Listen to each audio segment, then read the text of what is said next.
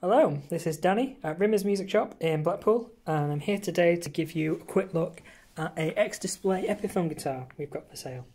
It is the Epi Epiphone SG Custom in uh, ebony with the gold hardware, as you can see there. So it is in fantastic condition. I've been around it and I can't see any sort of marks or scuffs or scratches. It's still got the uh, the cellophane covering on the pickups and on the uh, the scratch plate itself. So those marks are on the uh, on the cellophane cover. But yeah, what I'll do is I'll uh, I'll show you around the guitar, and obviously I'll give you a, a, bit of history on it as well.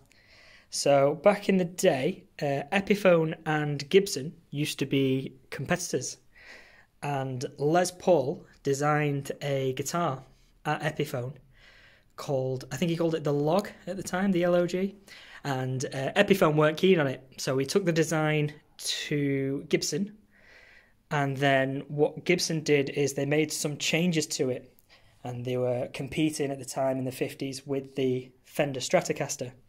So the changes they made, they made it a double cutaway, so on either side you can see that it's cut away so you can reach, again, sort of similar to the Fender Stratocaster style at the time. And Les Paul didn't like the changes that they'd made to it, so he asked for his name not to be on the guitar and his name not to be associated with it. So Gibson called it the SG for solid guitar.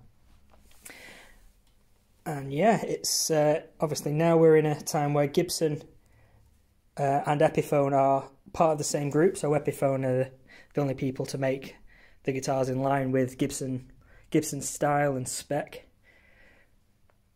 but it's uh, it's still remained a classic guitar to this day. Obviously played well uh, when I see one, I automatically associate it with uh, with your ACDC. But as you can see, it is a this one is a, a fantastic looking, fantastic looking guitar. But yeah, what I'll do is I'll plug it into an amplifier for you, and I'll give you a quick demo of what it sounds like for you.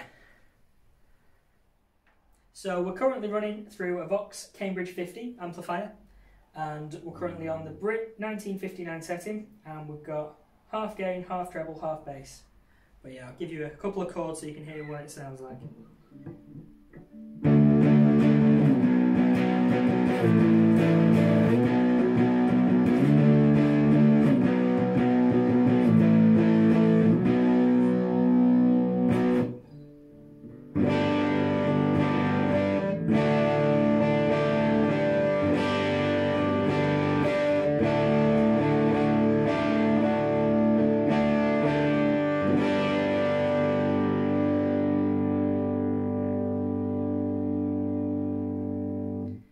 Go. X-Display, Epiphone, SG, custom in black.